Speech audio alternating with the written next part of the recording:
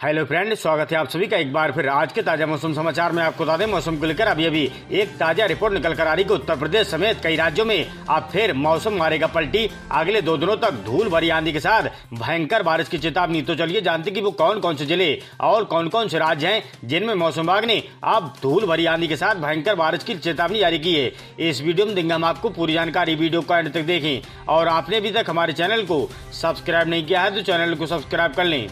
मौसम समाचार में आपको बता दें कि उत्तर प्रदेश में एक बार फिर मौसम करवट लेने जा रहा है। दो दिनों तक राहत मिलने के बाद बारिश का दौर अब शुरू हो सकता है। दरअसल मौसम विभाग ने दो दिनों तक ज़्यादा बारिश होने की चेतावनी जारी की है। मौसम विभाग के मुताबिक पश्चिमी यूपी के कुछ हिस्सों में दो दिनों तक हल्की बारिश ओले गिरने की संभावना, वहीं दो दिनों तक पूर्वी उत्तर प्रदेश में मौसम में परिवर्तन होने की संभावना है। वहीं आपको बता दें कि लखनऊ स्थित आंचलिक मौसम विज्ञान केंद्र के मुताबिक प्रदेश की राजधानी लखनऊ में आज अधिकतम तापमान तैतीस डिग्री सेल्सियस और न्यूनतम तापमान 19 डिग्री सेल्सियस दर्ज किया जाएगा। हालाँकि दिन भर बादलों की आवाजाही बनी रहेगी। वहीं कई अन्य जगहों पर झमाझम बारिश भी देखने को मिलेगी। कहीं आसमान साफ़ रहने की भी संभावना है। लखनऊ स्थित आंचलिक मौसम विज्ञान केंद्र के मुताबिक एक नया पश्चिमी विक्षोभ सक्रिय हो रहा है। इसका असर कल से दिखना शुरू होगा और मौसम विभाग के मुताबिक अगले दो तीन दिनों तक यूपी के कई हिस्सों में झमाझम बारिश और ओले गिर सकती हैं।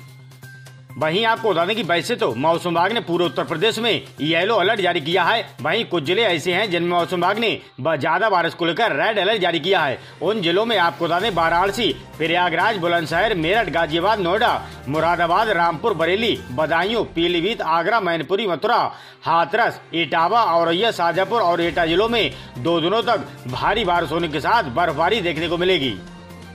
हालाँकि आपको बता दें कि देश के ज़्यादातर हिस्सों में पिछले दिनों हुई बारिश के चलते मौसम सुहाना बना हुआ है। पिछले एक सप्ताह से उत्तर से लेकर दक्षिण भारत तक कई इलाकों में बारिश दर्ज की गई है। मौसम विभाग के मुताबिक अब एक नया पश्चिमी विक्षोभ हिमालय क्षेत्र में पहुँच रहा है, जिसके चलते अगले कुछ दिनों तक बारिश, आंधी और तूफ़ान का सिलसिला जारी रहेगा। वहीं दो दिनों तक कई इलाकों में गरज के साथ बारिश और ओले पड़ने की संभावना है। मौसम विभाग के मुताबिक पश्चिमी हिमालय क्षेत्र में दो दिनों के बीच हल्की कई मध्यम, कहीं तेज बारिश की आशंका है। वहीं दो दिनों तक इन सभी क्षेत्रों में गरज के साथ बौछारे पड़ने के साथ ही ओले पड़ने की भी संभावना जताई गई है।